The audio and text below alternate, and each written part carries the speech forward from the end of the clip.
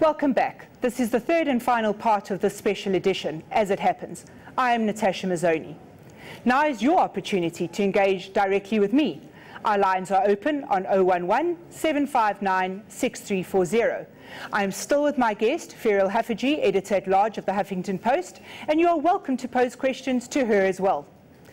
Our first caller on the line is Tumishio Moloto from Pretoria. Tumishio.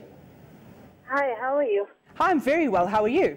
I'm. I'm, I'm asking this question to you as a young black woman. Do you think the DA is diverse enough from a woman perspective? That's a, that's a very interesting question, and it's a, a, question that's very important for not only women in politics, but women all over our country to answer. I think that we are certainly moving in the right direction. I thank the women who came before us, who helped break the glass ceiling, and I think that women as a whole are starting to gain ground in what was notoriously a male-dominated field. I think when one looks at Parliament, we could certainly do with more women uh, in, in Parliament, but I think we're making massive strides. In the Democratic Alliance, I look at the leadership of the DA, especially in terms of who our provincial leaders are and our shadow ministers are, and I'm very pleased with the, the progress we are making. But of course, this is a progress that could always be made further.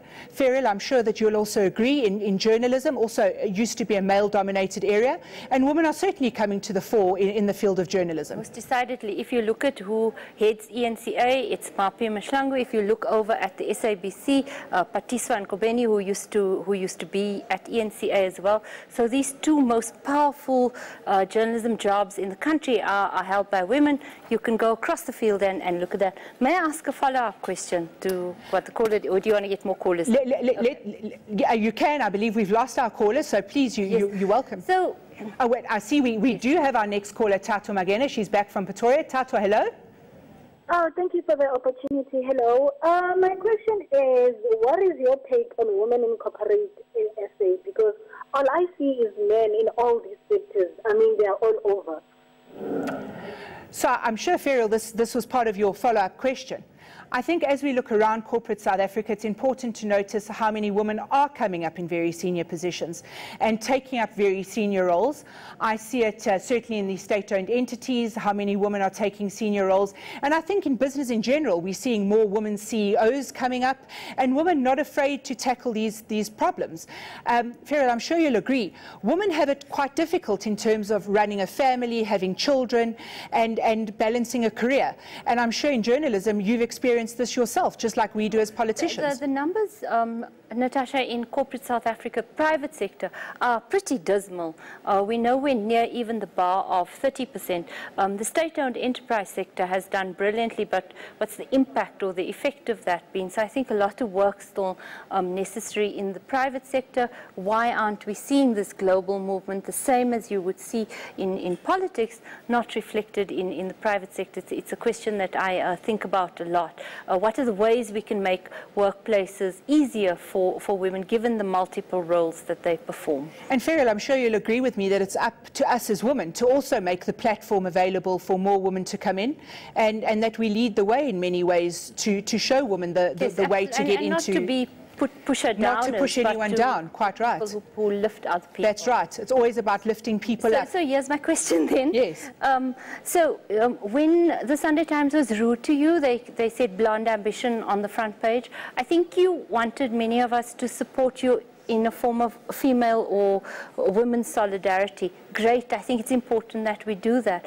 I've wondered to myself in the past couple of weeks, though, why haven't women in the DA stepped in to exercise a similar hand of feminist solidarity to Pat de Lille, who the two reports shows that she made errors, but they, they don't reveal massive corruption, Nkandla-style corruption, as my colleague calls it. Don't you think there was a duty to help her through a difficult time and to keep her within the party? Ferial, I'm so glad you asked me that because it's a question I get asked quite often yes. as a woman in politics. And my answer is this, when it comes to accountability and good governance, it has nothing to do with our gender. We are put in positions of authority because we are excellent at our jobs.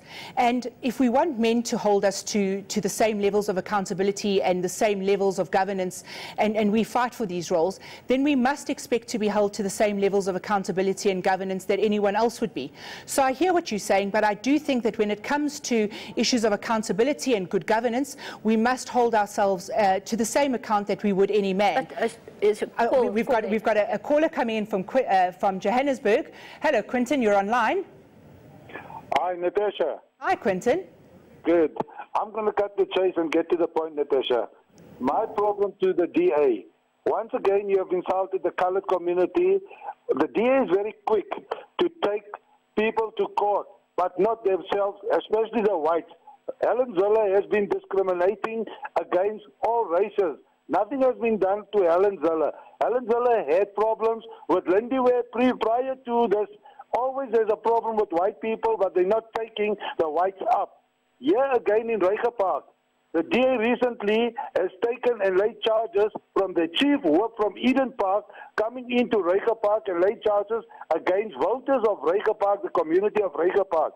Then again, your councillor Charles Crawford has mentioned it that he only helped people who voted for him, and that was only the blacks in the informal settlement. We want you, Patricia de Lille, Mmusi Maimane, that was here. Only now that it's election time, you people are available to come through for the colored vote. It's by high time that the coloreds must make up, have their own political party and stop having people like yourselves wanting to dictate to colored people. And we must unite as colored people to show you people we are a strong force as much as any other political party or race is. We are sick and tired of you people discriminating and not here for us. Today is voting time. Now you're on the ground. We don't see any DA person, none whatsoever. When we call upon you people, you don't come to Reiger Park. When we call into the colored communities, you are never available. Your guys are sitting wherever you're sitting and ignoring the colored people. Now you're discriminating against Patricia de Lille. Quinton, thank you very much for your question. Quinton, I'm going to answer you if I may, because we are under time constraints. Quinton, please don't feed into the hate narrative. We are South Africans, and we are here to represent all South Africans. I am a white South African, and I represent you as a colored man just as much as I would anyone from any other race. In the Democratic Alliance, we believe in diversity. We believe in holding eh, everyone to account. It is simply untrue what you say about white members of the DA not being held to account. In actual fact, Patricia de Lille faced a very serious disciplinary hearing from the Democratic Alliance, and as such lost many leadership roles within the Democratic Alliance. So I don't think that you should be coming on air and trying to create a racial divide that simply doesn't exist. The DA is on the ground. We are the party for all the people, and we will continue being the party for all the people. Our next caller is David from PE. Evening, David. Hi, Natasha. I'm so glad I'm after the caller that phoned you because I consider you being the pit bull of the industry of your political party. You hold the bone and you will not let it go.